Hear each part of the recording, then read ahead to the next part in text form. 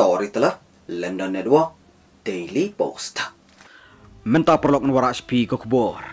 Uputin uladon kontak bet kileno Hamas ha Gaza. Tong ini ngap. Ka Rusia kalau ong bakal persyang ban pelat iki hostage babat da ka konuleno Palestine Hamas. Ka Moskow ka kam bakal don kontak bet kinong bikmat jong Hamas ban pelat iki hostage. Kumba ars pangut ki hostage ba kam da Hamas hakapor ba ka hirt makan san haka nyutrik Oktober ya ka Izal. Ong sipa Izal.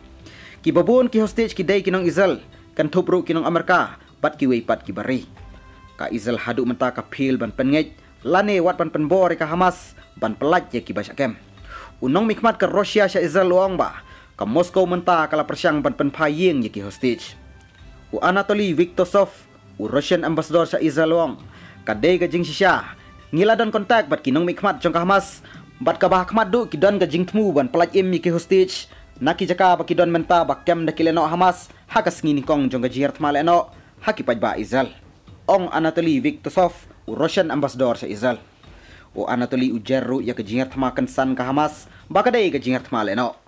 Kadba ka Russia ka penrem ya kejingat ma ka Israel. Katakrain ru ya ka Israel namar ka jingbom don jingsngo ya ka Gaza. U presiden ka Russia la ong bunsin ba ka sopo jong u sya ka jingtao ya ka independent Palestinian state. U Vladimir Putin u Persia ya kejingat ma ka ha Gaza. Bat terwa penyesuk ban penkut ya katma. Dang shibit u presiden ka Russia ong ka right solution kala ban lap lengba ya gajing penyesuk. Ka Israel ha gajing persyang jongka ban penbor ka Hamas ban pelat ya hostage. La shan penlewet ya ka Gaza Strip. Ya sah jangut ki biriu ki balayap ha Palestine nadu ka nyutrik Oktober.